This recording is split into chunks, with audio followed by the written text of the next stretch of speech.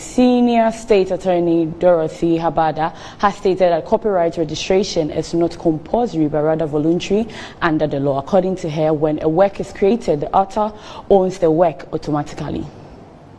Creative works are owned one way or another. However, mm. you look at it, once a work is created, it is owned by somebody or an institution from somewhere. So there's no work that is orphan, more or less. Even orphaned works are identified as such, and they have a source. You get it? So, when a work is created, it is created by an author. That author owns the work technically.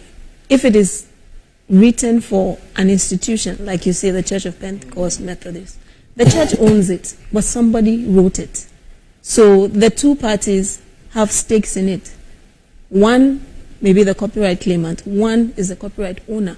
Both of them have stakes in it.